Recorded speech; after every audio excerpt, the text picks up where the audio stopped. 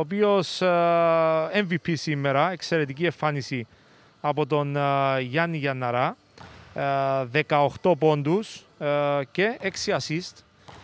Γιάννη, πού θεωρείς ότι κρίθηκε το σημερινό παιχνίδι, τι κάνατε εσείς καλύτερα από τον Αποέλ και πήρατε αυτή την νίκη; Καταρχήν, πρώτα απ' όλα, συγχαρητήρια στην ομάδα μου και όχι ε, από θέμα απόδοσης, αλλά από θέμα προσπάθειας και συγκέντρωσης.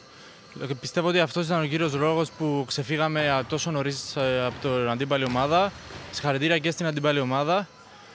Ήταν πολύ σημαντική νίκη για μας γιατί ξεκινήσαμε το δεύτερο γύρο με ένα δύσκολο μάτς και με μια αρκετά καλή εμφάνιση. Είχαμε δύο-τρεις, δύο εβδομάδες να ετοιμαστούμε μετά το τελευταίο μάτς και είμαι πολύ χαρούμενος για...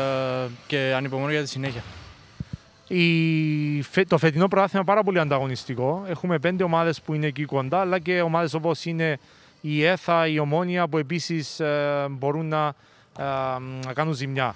Ε, εσύ πώς βλέπεις τις δικές σας πιθανότητες για να πάτε μέχρι τέλους; Σίγουρα η ΑΕΚ ήταν και είναι μεγάλη ομάδα.